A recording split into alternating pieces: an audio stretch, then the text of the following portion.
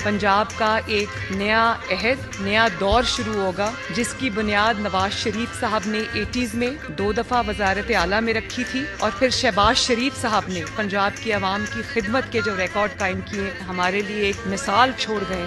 पंजाब अपनी तरक्की के नाम से जाना जाता था, खिदमत के नाम से जाना जाता था। दूसरे जो सूबे थे, वो ये तमन्ना करते थे कि हमारे पास भी शहबाज शरीफ जैसा वज़ीर आला हो। जो काम शहबाज शरीफ साहब कर गए थे, दवाइयाँ फ्री देते थे, लोगों की दहलीज तक पहुँचाते थे, उसको न सिर्फ़ फुल स्टॉप लग गया, बल्कि वो सारी विड्रॉ कर ली आवाम से सहूलियात। कोई लोगों को अब फ्री इलाज और फ्री उसकी सहूलत नहीं मिली।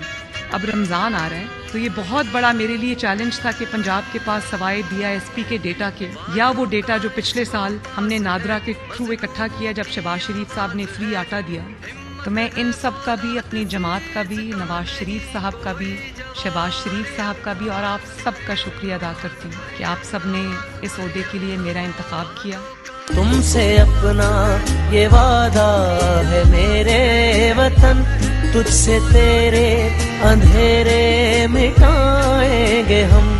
पाक खूने शहीदा की हमको कसम, पाक खूने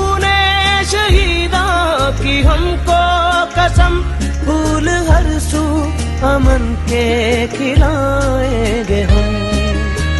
हम झुके ना कभी जुल्म के सामने, हम है को है गरा, अपना मादी गवा।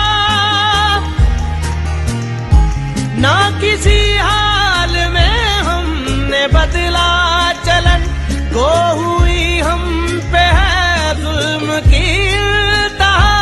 अपना माजी गवा फिर हुआ शोर के मुल्क खतरे में है। तो आप सबको ये जान के खुशी होगी कि पंजाब में अल्लाह ताला के फजल से हम पहला एयर एंबुलेंस शुरू करने जा रहे हैं।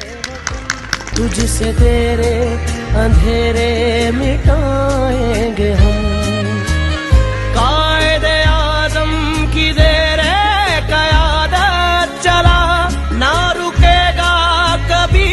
अपना ये